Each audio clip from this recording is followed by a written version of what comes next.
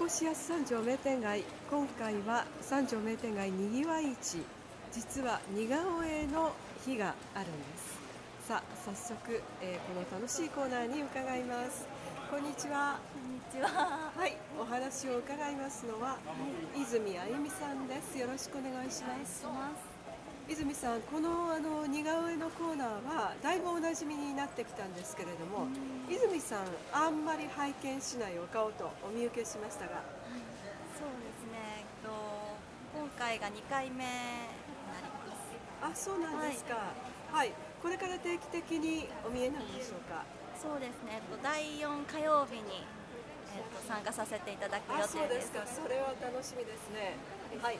泉さんはこの絵の勉強ってどんなふうにされたんですか？似顔絵の勉強。そうですね。なかなか普通の絵と違ってあの難しい点もあるんじゃないかなって想像するんですがどういうあたりが難しいでしょう？うんもう本当にその人の雰囲気が出るような顔のパーツパーツとかじゃだけじゃなくて雰囲気まで表現できたらいいなって。あ本当ですよね、はい、あのやっぱりその人の持ってるキャラクターとかそういうものがにじみ出る、はい、そんな似顔絵ということですね。そうですね、はい、こちらに実際に描かれた絵があるんですがえー、っとこの大きいサイズがお一人様1000円。それから中サイズこのちょっと小ぶりなのが500円ということです、えー、なんだかとても可愛いなというそんな印象を持ったんですがどうでしょうか？